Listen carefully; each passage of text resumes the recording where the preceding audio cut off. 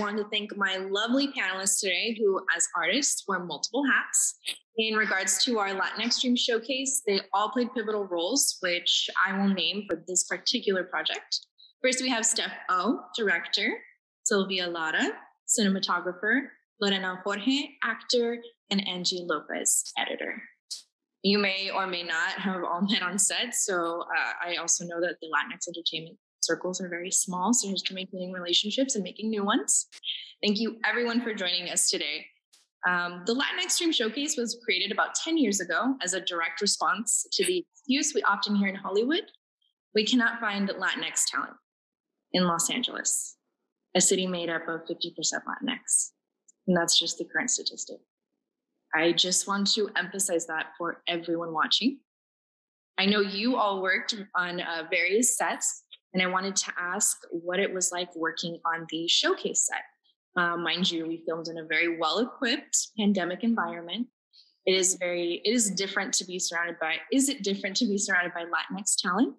And how does that speak to the culture that has been normalized and how it's changing in the overall entertainment industry? Okay, I'll, I'll go ahead and tackle it first to start out. Um, I it was it was a lot of fun to be surrounded by all different diverse um, people from different Latinx communities. Um, to have a commonality just off the bat is it's very heartwarming. You know, it's that familiarity that you all of a sudden feel like at home um, when either someone speaks your same language or has your same kind of walk of path of being first generation American. Um, so you naturally have a reference to to talk about and initiate a, a friendship. Um, and it's it was a very supportive environment. Um, I think that's kind of the culture that I'm looking to change to to see it more because I feel that because we have such poor you know representation and little bit of roles in all different aspects of film and production as well as in front of the camera um, it creates this um, competitive mentality where it's like not all of us can get a piece of the pie. So it was really nice to kind of see that culture start to change where all different people can take on different roles and be supportive and really encourage the next generation and in changing that culture of of really just women supporting women as well as uh, our community to support each other and know that we all can we all can eat there's enough to go around you know we just got to speak and create those roles to allow us to really shine in our own right and in our own authentic experience I just feel like there's like a sense of community, right? It just feels like family when you're like working with people that are also Latinx. So like I feel like I have intentionally always try to work with other Latinx crew and cast and all of that. So I think for me, that's like the normal. And I just want that to continue, like Lorena said, to continue to be the new normal where like we just feel safe in those spaces. Cause I feel like I have had some sets where like that's not the case. And there's always like this sense of like push and pull with power and like mm-hmm. when we're in a latinx like set like there is none of that right? It just feels like a giant like family and we're just all here to just create art and like we all care about the stories because they are mostly latinx stories that we're seeing on camera. So there's just a sense of like community and understanding within each other. So i think that that makes it really beautiful and like i hope we continue that for bigger projects in hollywood too. We will definitely can I piggyback off that? Let me start by saying for any filmmakers that are watching, uh, you do not wear shirts like this on camera. Do you see that weird pattern? That's moiré. That's moiré. You don't do that. But anyway, moving on. Uh, what, I, what, I, was just talking about this on set today, actually, because there was a lot of uh, Latinx people on the set that I was on today. Uh, it was um, high budget union shoot, uh, but unfortunately, the majority of the people that I found that um, that you know were from my community they were not in positions of power. And that was a an ongoing conversation with a few of us. Um, it feels like and i, I don't want to necessarily generalize, generalize an industry overall but more often than not i have found that a lot of the culture is you know keeping information not sharing not helping one another. And i feel that on the latinx set there's an inherent community and i feel that you know everybody usually tells me oh well that's the way that hollywood is. That's the way we, it is. That's the way it is. It's like yeah but does it have to be? Because i've seen the opposite. Granted on smaller sets smaller resources but we're coming on up and i feel like this sense of community that we already have amongst each other has the power to change the way that the industry is viewed and the way that we work in it. And ultimately in the environments that we are all going to be working in for the rest of our lives Mm-hmm. Absolutely. I want to speak too on like the post production process of it, not being on set, um, but feeling the energy from what I'm watching, you know, and reading the stories that really reflected each director and the writer in their own way, and just seeing it come to life and give that that personality and that identity that I rarely see as an editor. Um, and like Steph was saying, like being conscientious of what art I make is very much mm-hmm. something I put on. Like it's the first thing. What's the story about? And is it pushing the needle forward? Because if it isn't, you know, I I don't know if I necessarily want to be perpetuating stereotypes or underrepresenting folks or just, you know, there's just enough of that out there. So where we can do it and make art that is by us for us, like this is I remember being so excited when this opportunity came up and I was just like, I was like, I'm on. It's like, I don't even like what, like we're a showcase representing a lot of different folks from different communities and Latinos who are not just Mexican, by the way, for filmmakers and like mm-hmm. those Hollywood. Like we got Puerto Ricans, we got Colombians, like we got all walks of life of Latinos who are coming together. Um, and really putting our stories on screen. And I think even with my way of working with the directors and getting to be able to do that shorthand and just vibing off each other and knowing those emotional beats in each story was an honor. And it was just a joy to work with each director and like cutting with the talent and cutting and seeing Sylvia's work, which I just I don't want to not celebrate each and every one of us because I think it is so representative from what I've seen, from what it's at, from where it's like when people see it, it's gonna be it's gonna be a joy. That's awesome. I love that. Um, I know it is. I'm super excited for the showcase. I know that it's coming together really well. And I did want to um, emphasize, I think one of our staff said this, and that is like being a Latina in the industry and being a woman in this industry. I think it just kind of adds that extra, you know, element of difficulty, I guess, to say say it nicely. And um, what do you all feel like as how how is it to be in the industry as a Latina specifically? Do you feel like it that has changed and um, or is currently changing, and what work needs to be done in that aspect?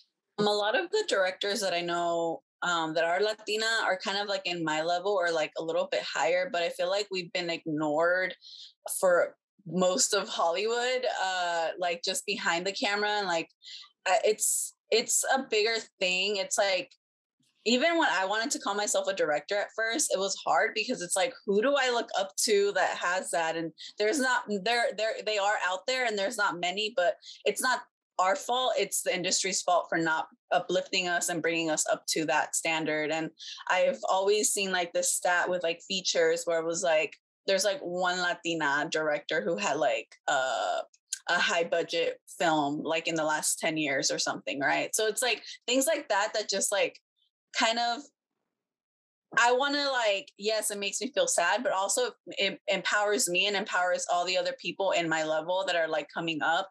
Uh, I know Aurora Guerrero's like doing TV and all of that. I know there's a lot of great Latina TV directors, and I'm just like, okay, so when can we get them the feature that has like a hundred million dollars? You know what I mean? Uh, so I just, I, I feel like I feel like we're all really trying to help each other out to uh, uplift each other and also like it can be up to us, but also needs to be up to the people in power. And that's always, I'm always going to go back to that because there's, you know, the execs who greenlight all these shows, all these movies and all that, like need to give us that chance to tell our stories because there's a whole community like the Latinx showcase will show like um, that wants to see these stories, right? Like that wants stories by us for us. So yeah. Mm-hmm. I mean, I can say for sure in where I walk in life in this industry, it can be lonely, you know, being the only woman in a room in a space, let alone in a, you know, that's predominantly white and male. Mm-hmm. Um, Post production, it's difficult, and I think, I think it's so imperative to talk to young girls and talk to women and let them know like this is not a space that needs to be gatekept and it's not it's nothing that you can't learn it's nothing that you can it, it's available and it and it can be and bestowing and giving that information and exchanging it is what's imperative and i i know knowing being a part of community that's that's something i try to do constantly because it shouldn't be lonely and that imposter syndrome that happens like when you need to remind yourself like who do i yeah who do i reference who do i look to to say they did it or they know how to do it so I must know too. And you know, it's it's it's something that I don't want to overlook because I think that little voice in our head sometimes can grow really loud. And you know, I think holding those in the positions of power accountable and say this isn't enough yet. like we're making steps and strides for sure and you know the initiatives that do happen the showcases the fellowships that are happening by folks of color like that's not a coincidence because that has to that that power. I mean we have to do it because i don't know if anybody else is going to do that you know? Um but as long as we're creating writing and being loud about it like i hope that this industry makes larger strides um, to open up the avenues to a lot more folks because it's way too narrow right now I think I can go ahead and piggyback off of you, Angelica. I think it's really important to instill in in our community that even though you might not necessarily have done a, a part, a position in production, or even necessarily been in front of the camera, it's not insurmountable. You know, it is possible. Um, me, I started. I'm an actor first and foremost, um, like Felicia said but I because of the poor representation and the the roles that you know I'm like how many prostitutes strippers drug addicts like mm-hmm. come on where are the roles where I see my mom on screen who was you know an entrepreneur and has her own business and came here without speaking a lick of English and managed to to find a way to put her family you know push it forward and I started writing, and it was something that was very um, intimidating at first. And it's like that whole imposter syndrome that you do. Definitely, like you said, you're like, oh, I've never written before. Like, am I am I valuable here? And I can say that it took one of my friends who was a writer, you know, and um, I was just kind of like, well, he's a writer. He's getting paid. He's telling me he wrote my stuff. He like read my stuff, and he was like, Lorena, you're a writer you're Latina, you have a voice, it is valuable, it needs to be heard. Your story is something that needs to be told. So I think definitely empowering anyone and everyone within our community that has a story to be able to be confident enough to put it forward and as well be willing to put in the work you know because that's also another thing like i had to learn the formatting you know i had to start at Celtx and then go to first draft you know final draft and then go and started ultimately producing and then directing and then all of a sudden these things i'm just like oh why did i ever doubt myself? You know? But um I, I did really appreciate the people around me that they were like no no no you could do this. You could mm-hmm. totally do it. Why wouldn't you do it? And just pay homage and be able to share those stories because i think we discredit how inspiring we can be. Um, because we we go through life feeling like oh i just did a small thing you know and they're like no no no don't don't make it so minor it's huge. Every stride is big and and we should celebrate each other and be able to tell like not like take open those gates and if we do know of anything that might not be necessarily perfect for that person um to inform somebody else that was a really a, a great blessing. I can say, I can shout out Myra, um, who worked with me with Cruz and Felicia on LA, because she sent me a casting for a project um, that they were looking at an Afro Latina. And I was like, oh, let me go. And I auditioned and I did a chemistry. I got a call back and a chemistry, and I ended I ended up booking the job. And I was like, that is I was so grateful to see women supporting women and not feel, you know, if this isn't right for me, let me tell somebody, or even if it is right for me as well, let's see who who goes and gets it and shines. Um, I think that's super important and making our voices loud. I think that's also. I think we're always scared to be in a room where we kind of feel like we we we found ourselves there by pure accident mm. and we're scared of being kicked out but um because i know i've been there i'm like um i don't know i don't know if that's the afro latino experience guys like and then they're like what? You know everyone turned to me when they did when they were talking about in the heights and it was like you're dominican? You're from new york? What's what's your take? And i was like oh, do i share? But i was like no let me share this let me take it so, to piggyback, definitely share the experience, make our voices loud, show that it's unacceptable to use our storylines, like writing our stories without us. Mm-hmm. That's not cool. Mm-hmm. Can I say one last thing on this? And everybody touched on really great points in that the way that the industry industry is set up right now, it's obviously, you know, wasn't designed with us in mind from the beginning. It wasn't. Um, everybody made a point on that, and I completely agree and I'm with you guys. Uh, turning it into something more inward and more micro uh, as opposed to macro is I've I've realized, especially with what I do as, as a cinematographer, is I have to know and I have to study and I have to put in the work and I have to put in the experience to be ready for when I get called on and get told, okay, what are your ideas? What are you, what what experience do you bring? Because most of us grew up storytellers as Latinos because I mean that's how we pass on, you know, family stories, we pass on history, etc. Most of us have a gauge on story structure, beginning, middle, end. Um, but if we don't, in our own respective fields, have put in the time, the energy, the hard work, the dedication in order for us to to show that we're capable and we're skilled, those opportunities may not come our way. Um, so you know i would never i would hate to show up on a set and rely on like my gaffer to do my work for me and to light for me and design design for me because then i lose my voice and my bread and butter as a, a cinematographer for that director. And the same goes with every other field. You wouldn't want to go into um, onto set in your respective field and not have put in the work and the legwork in order to know what you're doing there so there is also that responsibility on us to get ourselves up to speed. Mm-hmm. Um, and I, I, know we're all very well aware of that. Um, I made a point to this once with my um, with my group of cinematographers at AFI. Is like I have to run circles around you guys just to get into the same room as where you guys are already tapped in to mm-hmm. come into. And I'm well aware of that, but we're also not afraid of hard work. So we're coming. and it's and it's double too. I think um because one of the questions that you had asked at the very beginning was like one of the biggest struggles in being a Latina. Um, it is the fact that to be taken serious, you know, and piggybacking right. on you, Sylvia, the way to get serious is definitely right. to be ready. You know, I firmly believe luck is opportunity meeting preparation. So it's like you have to be prepared in order for when that opportunity strikes for you to be able to deliver.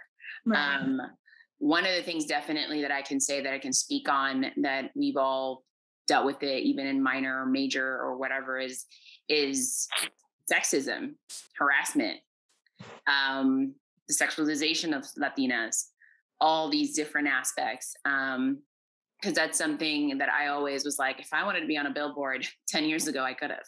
I would have just had to compromise my integrity and my morale.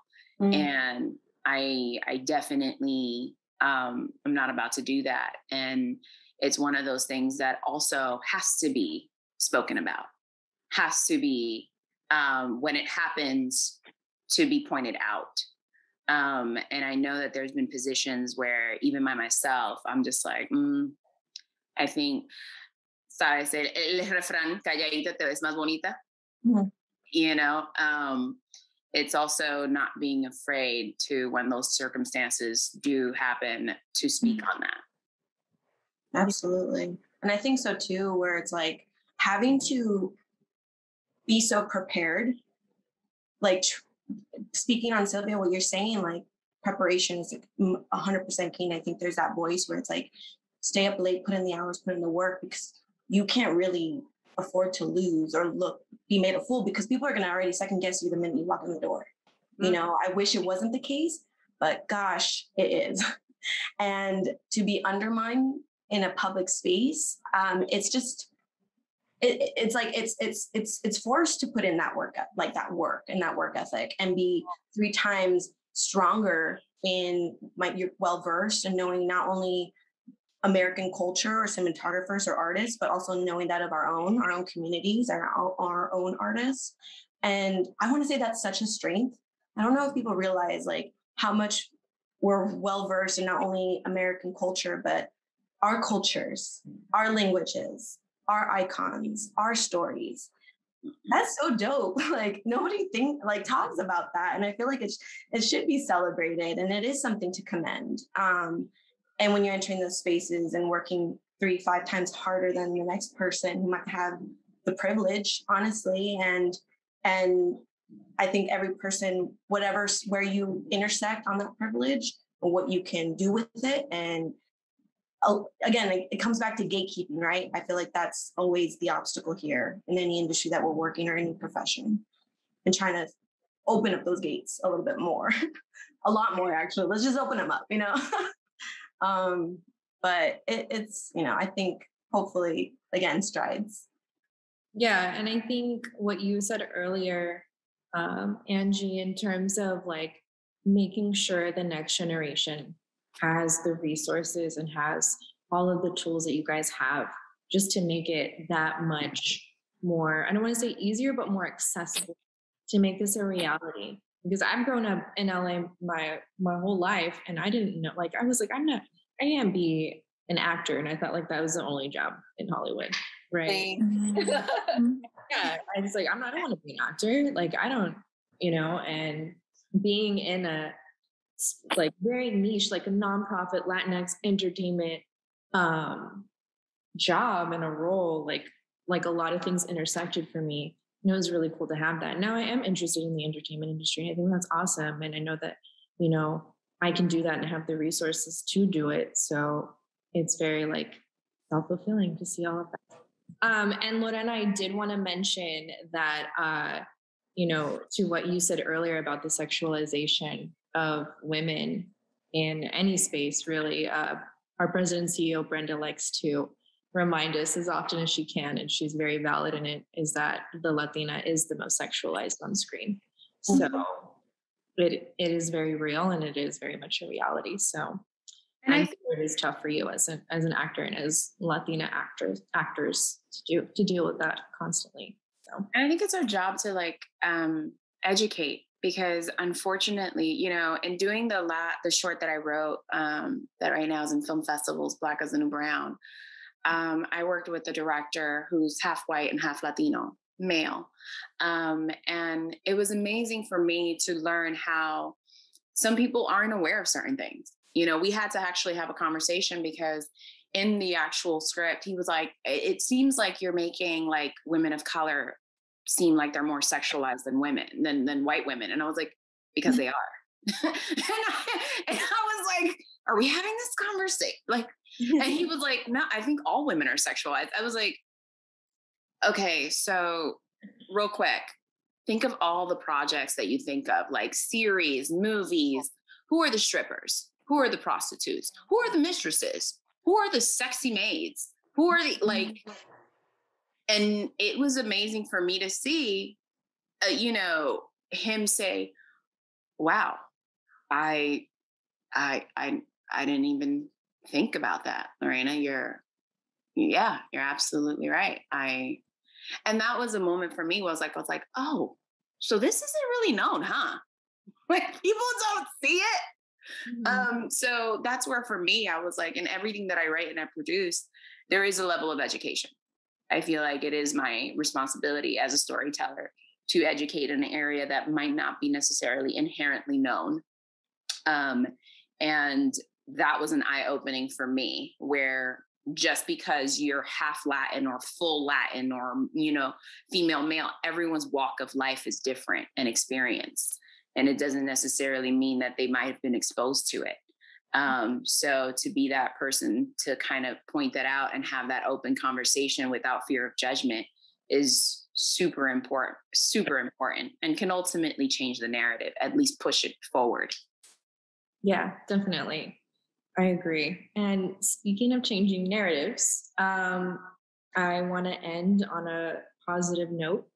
And uh, you guys all had great things to say. And I just want to know who is a woman in your life that has made an impact or an influence on you in whatever it is in your life, in your field in particular.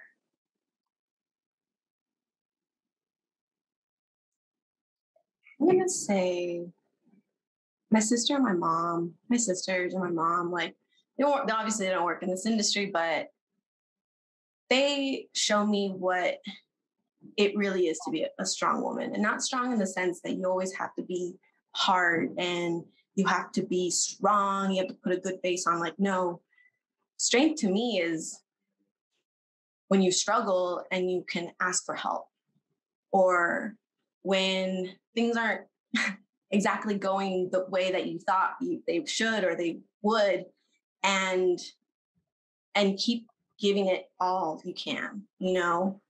I, I think those are two people in my life that i look to and just i'm grateful to know that it being a woman and being a latina woman like what that looks like and those vulnerabilities and that there are strengths outside of what we're supposed to be quote unquote supposed to be as latinas right fierce, strong, loud. Like, and I think it speaks to how dynamic we can be as women, as Latinas especially.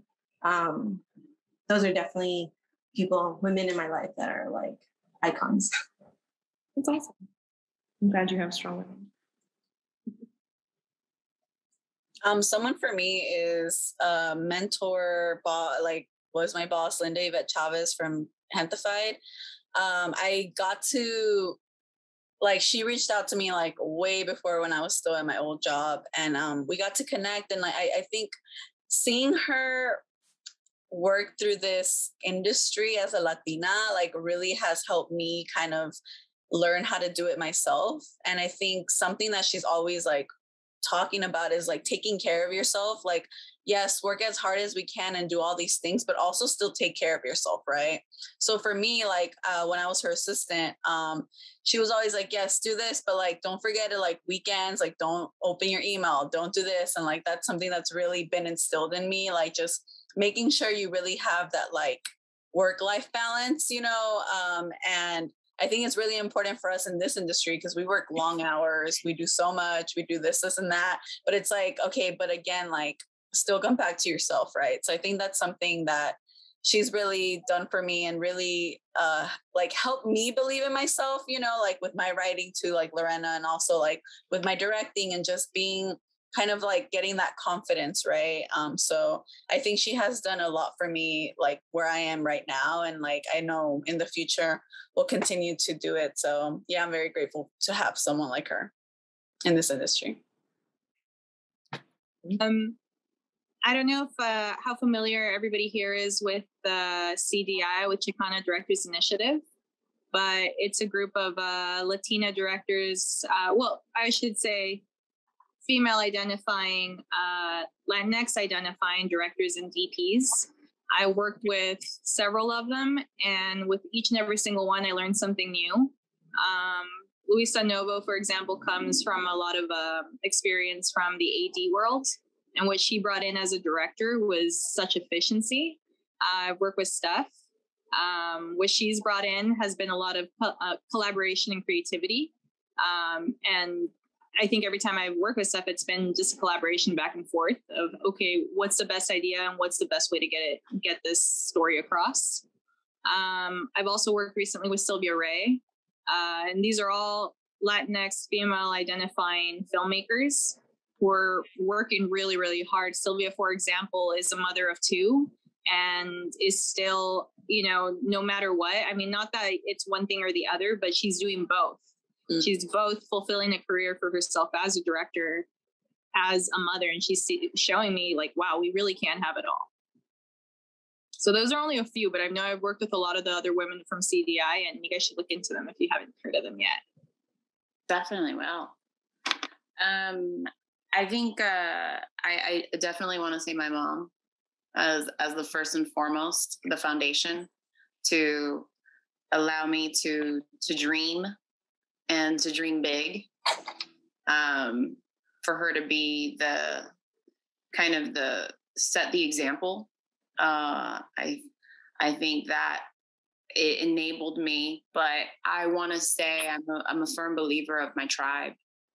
Like my, it starts with my mom, but my mom gave me the the beauty of looking at women as as colleagues and peers and and not as competition and not as um as as as empowering you know um I think that's something that I would love to teach the the next generation of girls to look at each other with eyes of support and love.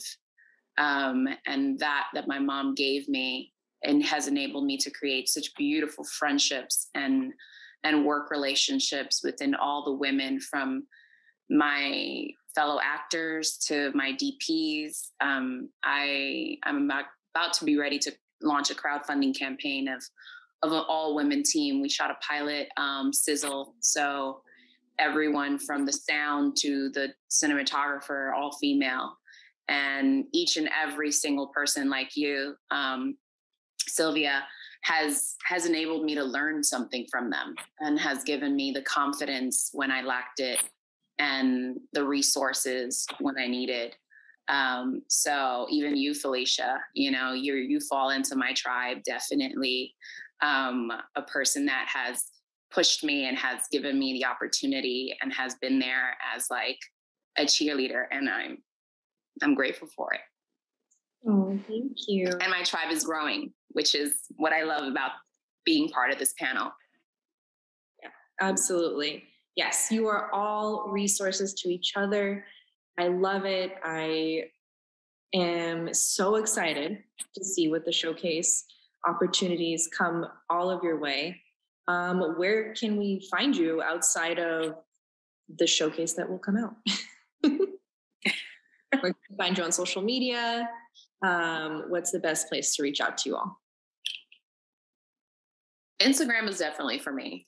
Um, Lorena Jorge 22 um, is the easiest and best way. I'm a little old school. I am like I'm the person that when you DM me, I'm like, here's my number, text me. Mm. so that would be an initial entrance, but you'll definitely have my number. Cause I, I I'm I'm I'm old time. Like I want to talk, I want to get on the phone, I want to meet in person, I want to develop a relationship and and take it to the next level and see how we can you know help each other grow. Definitely. Angie, where can we find you? Um uh, I I think it's angelicalopez.post. that's Instagram. Um, that's my my work one. uh, I have a personal one too. If you want to, you know, you can message me there. um, but that's uh, yeah, I feel like that. Um, message me or my email post.angelicalopez at gmail.com. Um, that is usually those two ways that you can contact me. Um, I'll post a lot of my work on my Instagram, um, basically what I'm working on for editorially in post production, um, whether that's my freelance work or what I do at Company Three. Um, a lot of what I showcase is on Instagram, so that's more of my work one. You work at Company Three?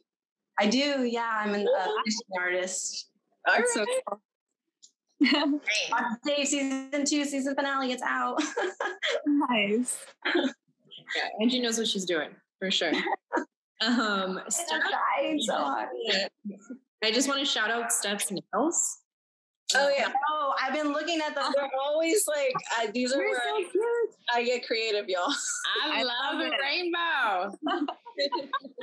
I did. I decided to go. I decided to go '90s old school yesterday, and I'm bringing back the square French tip. Oh Yes. throwback. um uh, you can find me on Instagram. It's its underscore stuff O O H. Um, and I just wanted to say, I don't think we talked about it, but like I am so grateful, Felicia, for this, for the Latinx Stream Showcase, reconnecting me with Sylvia and having her be my DP, and like connecting me with Angie, and just like she mentioned the shorthand before, like it was just so like Yeah, homegirl esque, you know, like with me and Sylvia it was like homegirl, and then Angie imposed homegirl, and I'm like, I love it. Like I just love, you know, being able to kind of just feel like we're just working together, collaborating on something. Um, so thank y'all for that. Um, but yeah, that's where you can find me. Of course. And Sylvia? Um, as far as social media, it's at the Sylvia Lara. So just how my name's spelled. It's Sylvia with an I, not a Y. And um, otherwise, I I was recently signed to an agency, signed with Zero Gravity. And Congratulations. so I, I'm with Zero Gravity now, and you can find me on their page as well. I'm on their roster of DPs now. That's awesome. Congratulations. Thank you. Yes, absolutely. On Just that, call it all you three. Thank you. Lena's on it. She always is.